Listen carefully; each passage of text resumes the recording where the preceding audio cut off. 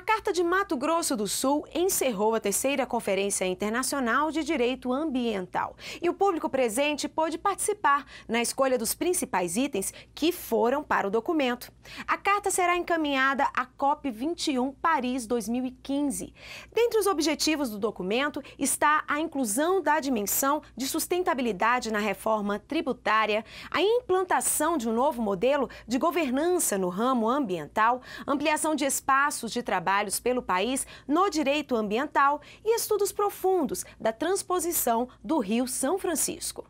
A inclusão da dimensão de sustentabilidade no debate da reforma tributária, de modo a estimular a produção e o consumo de bens e serviços sustentáveis.